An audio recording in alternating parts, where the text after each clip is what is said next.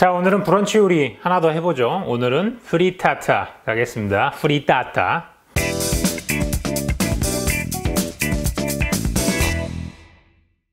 이탈리아 음식이죠. 계란으로 하는 뭐 가장 비슷한 걸 꼽으라면 계란찜 정도가 되겠어요. 근데 프리타타의 특징은 계란 믹스에 치즈가 조금 섞여서 꾸덕꾸덕하게 익혀지는 것 그리고 치즈의 향이 나는 것 정도가 차이가 날 수 있겠습니다. 안에 들어가는 재료는 뭐든지 다 들어가요. 보통은 이탈리아에서는 냉장고 처리용 음식으로 많이 합니다. 그 주에 만들어 먹고 남았던 것들을 그 주말에 왕창 꺼내서 계란이랑 같이 해서 대충 먹는 그런 스타일의 되게 편한 가정식 느낌이라고 보시면 돼요. 뭐 차려입고 먹는 그런 브런치도 아니고 아주 그냥 평범한 그런 요리입니다. 제가 그래서 오늘 준비한 건 지난번에 어, 뭐할 때인지 기억도 안 나네요. 그때 만들었던 파마산 남은 거. 뭐 치즈가 이런 체다 치즈밖에 없으면은 이런 걸 그냥 쓰셔도 됩니다. 다만 좀 추천드리고 싶은 거는 파마산이나 이렇게 약간 경성 치즈 이런 건 이제 말랑말랑한 애들은 이제 연성 치즈라 그러거든요. 얘네 같은 경우에는 들어가면은 조금 질척거릴 수도 있으니까 이런 경성 치즈 써주시는 게 좋고. 어, 요리가 별로 어렵지 않아서 TMI를 하나 알려드리지만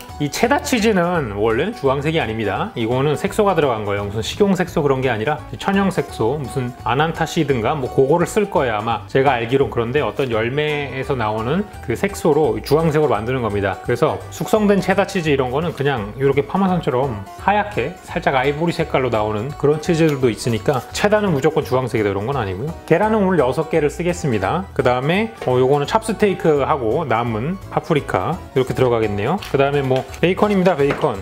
참나무 숙성 베이컨인가 그건데 이건 뭐 그냥 넉넉히 넣어주죠 그래서 남은 것들 사용하시는 게 제일 편하겠죠? 썰지 않아도 되니까. 저는 어쨌든 얘네들을 썰겠습니다. 이게 계란 안에 들어가는 거다 보니까 너무 이제 두껍게 썰면 안 돼서 이렇게 썰어 줄게요 제가 제일 추천하고 싶은 조합은 뭐 베이컨류 그 다음에 방울토마토 아스파라거스 이런 거 넣어주시면 되고 뭐 베이컨 방울토마토 시금치 이런 거 하셔도 되고 베이컨이 들어가면 뭐 아스파라거스거나 이런 파프리카 같은 2단 음식이 들어가도 이를 악물고 먹을 수 있을 거야. 약간 이런 느낌입니다. 애들한테는 잘안 통하더라고요. 자 승우가 좀 먹었으면 좋겠어요.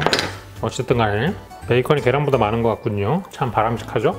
자 그 다음에 또 할 건 뭐 파프리카네요. 얘는 존재감이 없으면 없을수록 좋잖아요. 그래서 최대한 잘게 그냥 여러분에게는 보여드리지만 이런 게 들어간다고? 이런 게 들어가면 약간 좀 이뻐 보일 뿐이지. 실제로 먹는 저한테는 아무 도움이 안 되기 때문에 최대한 존재감이 없도록 다져주겠습니다. 사실은 넣는 척하고 빼고 싶은 게 저의 마음. 자 그 다음에 계란을 풀자고요. 자 이제 계란을 풀어줄 건데요. 계란을 풀어주면서 치즈도 좀 넣어주자고요. 자 지금 대충 하는 거 보이시죠? 대충 하셔야 됩니다 치즈를 좋아하시면 많이 넣으시고 치즈를 별로 좋아하지 않으면 조금 넣으시고 그렇게 하시면 돼요. 이거의 간은 치즈 이만큼 넣으면 조금 짜지긴 하겠지만 대부분의 간은 전부 다 요리를 하고 나서 위에다가 케찹을 뿌려서 먹는 거기 때문에 소금은 그냥 원하시는 만큼 넣으시면 돼요. 저는 계란 조리를 할 때 저는 소금을 많이 넣어서 하는 걸 개인적으로 별로 좋아하지 않기 때문에 그냥 안 넣는 겁니다. 하지만 내가 치킨 스탁 매니아다. 여기 치킨 스탁을 넣으십시오. 엄청 맛있어져 내가 일본식 계란찜의 매니아다. 여기다가 가스오부시를 넣으시거나 제가 지난번에 알려드린 혼다시 혼다시를 여기다가 일 작은 술 정도 넣어가지고 하시면 어, 일식 계란찜의 맛이 납니다. 그렇게 하시면 돼요. 그런 식으로 응용해서 하시면 되고 계란 요리란 게 별거 없습니다 자 불을 제일 세게 켜주시고요. 어, 후라이팬을 구하실 때 뚜껑이 있는 걸 구하는 걸 추천드려요. 원래는 이 프리타타가 브로일러라고 해가지고 생선 굽는 거 있잖아요. 위에서만 이렇게 열선이 있어가지고 위에서 불하는 그 잣땡글 이런 것처럼 위에서 있는 걸로 해야 위에가 이제 노릇해지고 하는데 그걸 집에서 대체하려면 5분밖에 없어요. 근데 아시잖아요. 제 레시피는 5분을 안 하는 거. 그래가지고 후라이팬만으로 할 건데 뚜껑 있어요. 윗부분도 잘 익습니다. 계란을 6개나 썼기 때문에 밑에만 먼저 있거든요. 자 그래서 일단은 베이컨 베이컨을 볶습니다. 세상에 자 베이컨이 굉장히 많아 보이지만 고기가 과하다는 건 있을 수가 없으므로 그냥 하시면 돼요. 보시다시피 기름이 잘 안 나오죠? 한번 훈제한 것들은 기름이 기본적으로 쭉 빠져 있어 가지고 잘 안 나오니까. 이런 얘기를 왜 하는 거야 근데? 자 어느 정도 기름이 살짝 나오면 사실은 안 나왔지만 나왔다고 치자고요. 뭐 살도 빼고 좋잖아요. 채소를 넣어줍니다. 이런 생각보다 너무 잘게 자르지 못했군요. 팔꿈치가 별론 것 같아. 보통 이제 먹다 남은 걸 사용한다고 얘기를 드렸잖아요. 먹다 남은 거니까 다 익혀져 있는 상황이란 말이에요. 그래서 살짝 데피는 정도가 되겠죠? 이 위에다가 이제 계란을 부어주시면 돼요. 지금은 불이 제일 셉니다. 베이컨이랑 이런 걸 볶느라고. 근데 이거 부어주시고 나서는 불을 중불로 줄여주셔야 돼요. 그렇지 않으면 그렇지 않으면 뭐 특별한 일이 일어나는 건 아닌데 요리가 잘 안 됩니다.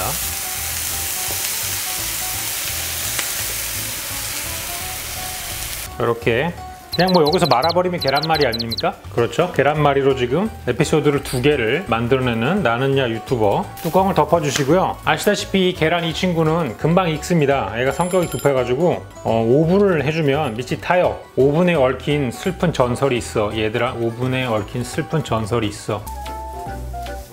어, 약간 탄 냄새 나네.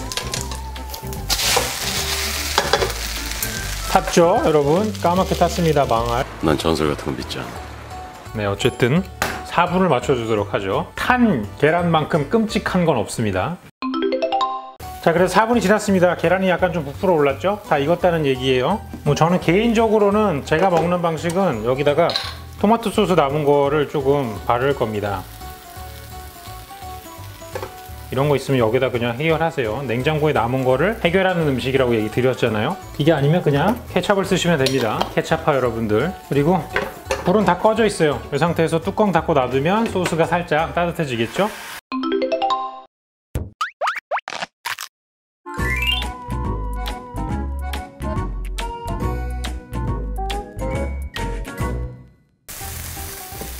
자, 여러분의 코팅팬이 제대로 작동을 하면 이렇게 한 번에 쇽 나올 겁니다. 이게 한 번에 이렇게 안 떨어지면 새로운 코팅팬을 사실 때가 됐으니까 참고하시고요. 잘라보죠. 자, 우리 집 식구는 3명인데 6개로 잘라야 약간 좀 양심 있어 보이니까.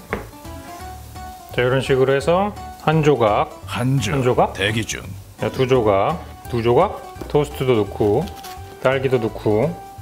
자, 이런 식으로 하면 그럴듯해지죠? 뭐 그럴듯하지 않다고 누가 이렇게 차려주면 저는 감사히 먹습니다. 자, 그래서 프리타타를 먹겠습니다. 식문화를 존중해달라고 레오나르도 다빈치 씨가 얘기를 하셔가지고 오늘은 유럽 감성으로 먹어보도록 하겠습니다. 음, 음, 딜리시오. 음, 파프리카 맛이 끔찍해. 하지만 베이컨이 날 달래주고 있어. 이렇게 해서 먹으면 이삭 토스트입니까? 음, 밤 9시 반에 먹는 브런치. 새로워. 짜릿해. 오늘은 이렇게 브런치를 만들어 봤는데요. 뭐 그냥 이탈리아식 계란찜이라고 생각하시면 될 것 같아요. 이런 식으로 사용해 가지고 토스트, 과일 이렇게만 해도 주말에 참 즐거운 하루를 시작할 수 있지 않나. 이렇게 만들어 놓으면은 한 3시간 정도는 플레이스테이션을 할 수 있을지도 모릅니다. 큰 희망을 가지고 한번 도전해 보시기 바라겠고요. 저는 다음에 조금 더 쉽고 간단하고 맛있는 레시피로 다시 찾아오도록 하겠습니다. 아직 먹지를 못해 가지고 유통기한이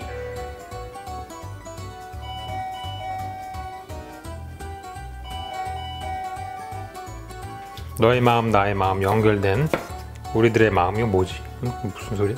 미쳤나?